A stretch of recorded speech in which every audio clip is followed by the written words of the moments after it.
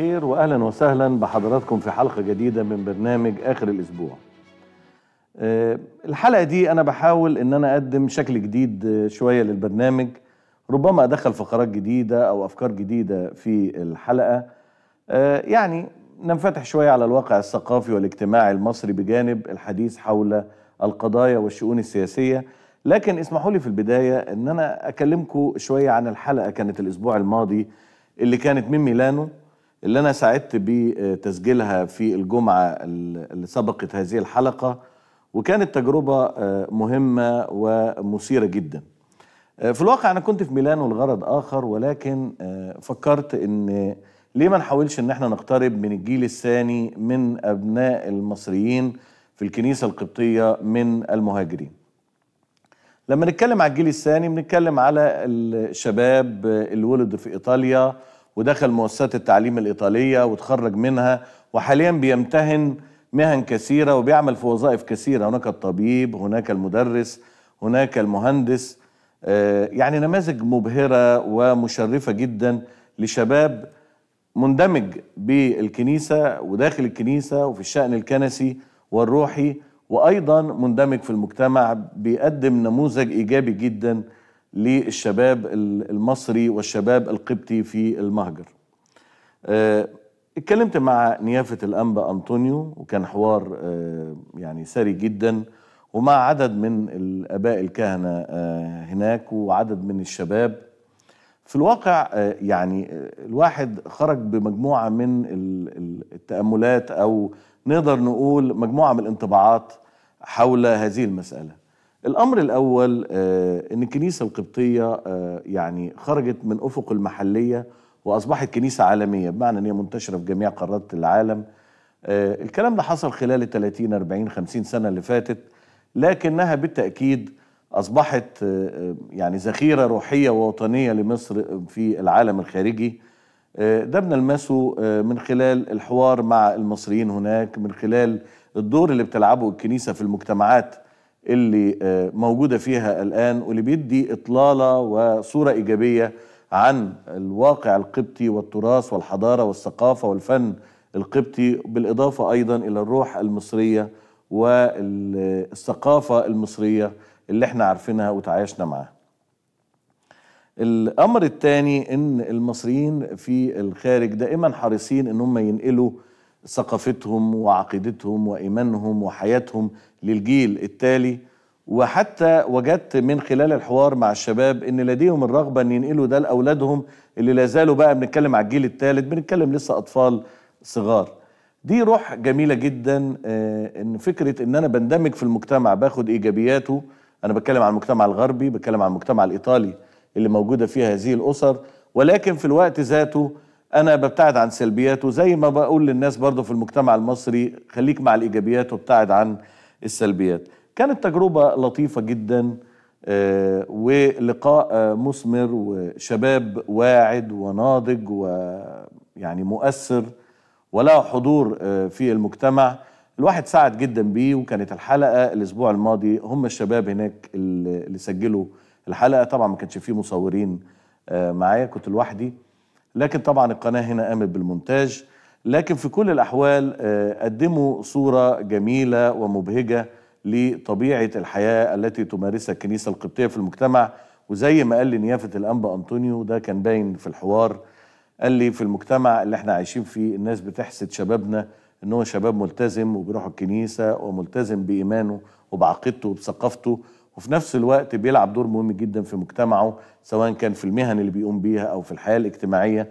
حقيقي صورة نتمنى دائما أن تكون عليها المجتمعات المصرية عامة والقبطية في المهجر.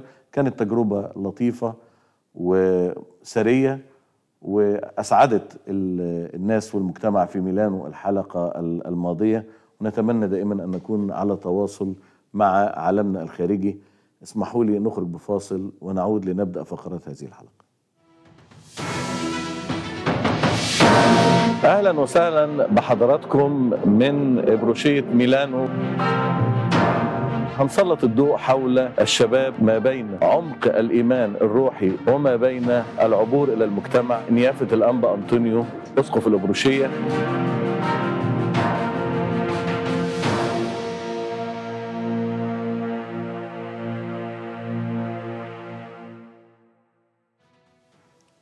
حكومة الدكتور أو المهندس مصطفى مدبولي في مرمى النيران.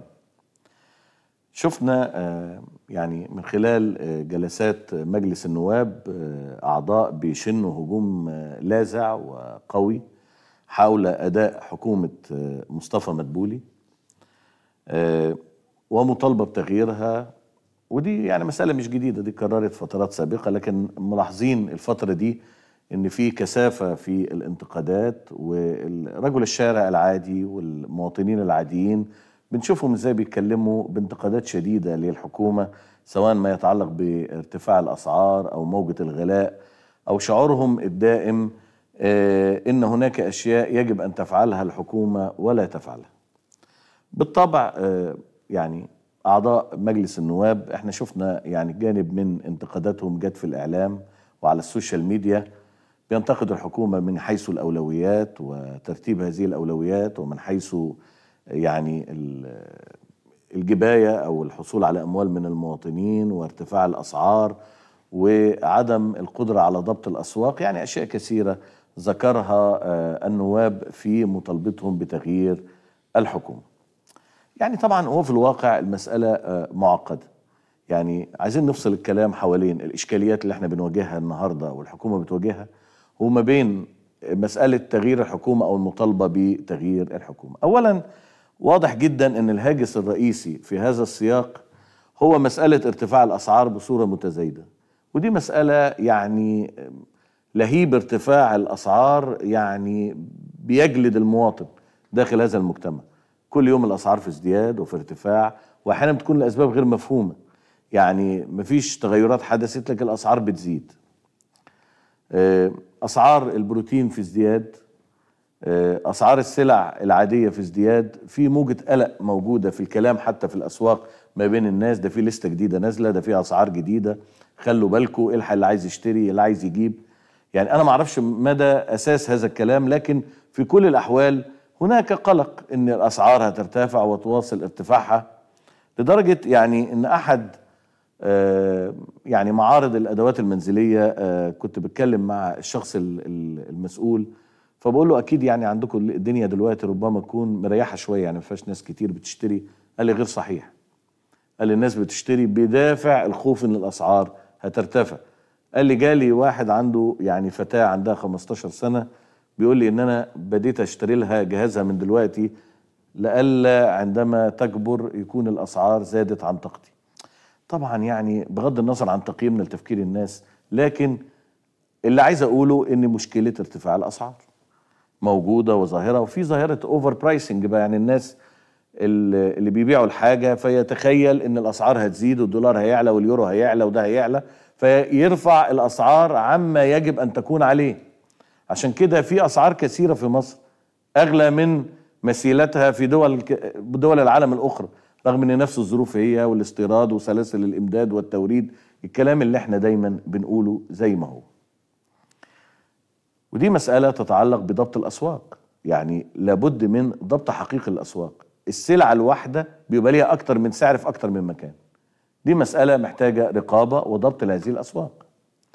الأمر الثاني والناس بتتكلم عليه كتير جدا هو زيادة الدين الداخلي وزيادة الدين الخارجي بنتكلم في أربعة أكتر من أربعة تريليون داخلي وبره بنتكلم في أكتر من 170 مليار.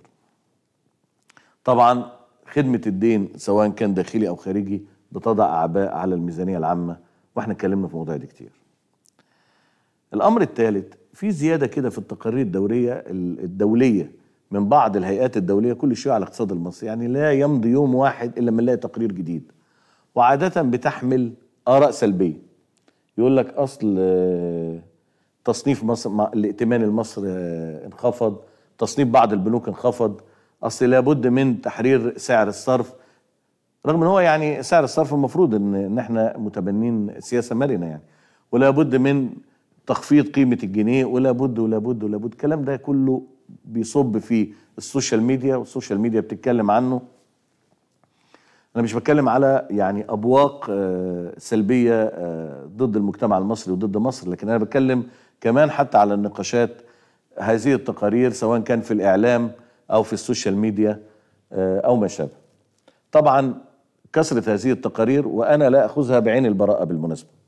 يعني تعاقب وكثافة هذه التقارير في الحديث حول نفس القضايا يعني أنا مش عايز أشكك في حياد الناس ولا أتكلم عنهم لكن في كل الأحوال أنا شايف إن الموضوع في قدر من الازدياد يعني. لا أخذه زي ما قلت لحضراتكم بعين البراءة. لكن على أي حال في تقارير كثيرة بتصدر ودي بت- بتسبب موجة من النقاش والحوار بين الناس على ال social media وبتؤدي إلى قلق. تصريحات بعض رجال الأعمال الكلام على هجرة استثمارات من مصر لدول عربية يعني كلام كتير بيتقال في هذا السياق. ومنشور ومتداول. كل ده طبعا بيصب في آه، موجة الانتقادات بالنسبة للحكومة. في المقابل يعني ما حدش يقدر برضو يتغافل إن في بعض التقارير بتتكلم على إن التضخم مرتفع صحيح ولكنه حاليا بيرتفع ببطء أكثر من ذي قبل وفي اتجاهه إلى الثبات. ده هيأثر على التضخم العام في السنة لكن مش إحساس الناس بالتضخم شهريا أو أو ما شابه. لكن البعض بيرصد هذه الأمور.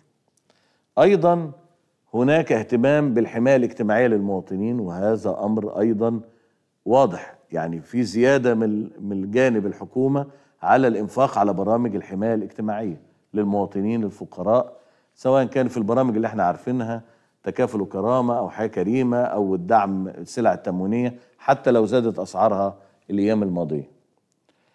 أمر آخر أن هناك أيضا إصرار على المشروعات الكبرى في مصر يستكملها المجتمع. المجتمع لن يضحي بمشروعاته لن يضحي بأحلامه أو بتصوراته. وهناك حاليا مشروعات في كل مكان والمجتمع بيمارس أو الدولة أو الحكومة بتقوم بهذه المشروعات. في وجهة النظر وجهة النظر الأولى آه، هي وجهة نظر ترى أن لا يوجد ترتيب جيد للأولويات. آه، أن هناك أعباء مالية ضخمة جدا آه، يتحملها المواطن. وإن في أسئلة هاجسية وتساؤلات لدى المواطن في كل مكان. وإحنا شفنا بعض الأحاديث كانت في آه، افتتاح آه، الحوار الوطني. السيد عمرو موسى قال مجموعة من الهواجس. والهواجس دي يعني هو رتبها بشكل دبلوماسي لكنها متداولة وموجودة. فالبعض يرى أن هناك إخفاق من جانب الحكومة في هذا السياق. اتجاه آخر يرى أن الحكومة آه، تفعل أقصى ما تستطيع وتعمل بجدية وهناك آه، بصمات لهذا العمل. بالرغم من ارتفاع الأسعار لا تزال الأسعار متوفرة. بالرغم من الضغوط لا تزال الحكومة بتفي بالتزاماتها الخارجية وأعلن رئيس الوزراء أن الحكومة لن يعني تتراجع عن الوفاء بأي التزام عليها. لا تزال هناك المشروعات لا تزال هناك حماية اجتماعية للفقراء. يعني البعض بيرى أن الحكومة تفعل أقصى ما تستطيع. الجدل الدائر هو في تغيير الحكومة هتتغير. يعني طبعا دي أمور آه، يعلمها طبعا ويتخذها صانع قرار في ضوء آه، رؤيته آه، في ضوء المعلومات المتوفرة يعني لديه وتصوراته. لكن نقدر نقول إن آه، مسألة آه، يعني تعديل الحكومة في هذا التوقيت أنا أتصور إنه ربما آه، غير وارد يعني بالمعطيات اللي إحنا بنشوفها.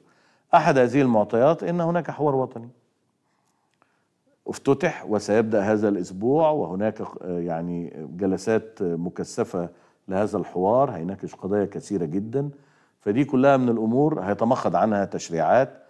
والرئيس عبد الفتاح السيسي في كلمته اللي وجهها في افتتاح الحوار الوطني ذكر إنه يتابع هذا الحوار وهيحضر بعض جلساته في ال- الختام وأيضا إن هو ينتظر مخرجات هذا الحوار وهيضعها وينظر إليها بعين الاعتبار ويوجه مؤسسات الدولة بشأنها. اذا نحن في مناسبة مهمة جدا للتعاطي مع الشأن العام حتى لو شكك فيها البعض لكنها مناسبة مهمة يتمخض عنها قرارات وسياسات جديدة. ربما هذا قد يكون مقدمة لتغييرات تحدث ولكن ليست تغييرات في أشخاص ولكنها تغييرات في توجهات أو سياسات. أيضا هناك انتخابات رئاسية العام المقبل. آه، أي ربما يكون في زخم الحديث حول هذا الشأن ترتيبات جديدة وتغييرات جديدة في هيكل الإدارة والسياسة وممارسة الحكومة في المجتمع. يعني اللي أنا عايز أقوله ربما ننتظر بضعة شهور حتى نرى آه، حديث مكثف أو مختلف حول مسألة تعديل الحكومة لكن الذي فتح الكلام حول هذا الموضوع هو الهجوم الكثيف لنواب آه، مجلس النواب آه، حول أداء الحكومة خلال الأيام ال- الماضية. ويعني كثير مما قيل يشعر به المواطن ويتحدث عنه لكن أيضا هناك جهود تقوم بها الحكومة لا يستطيع أحد أن يغفلها. اسمحوا لنا نخرج بفاصل ونعود لاستكمال فقرات هذه الحلقة.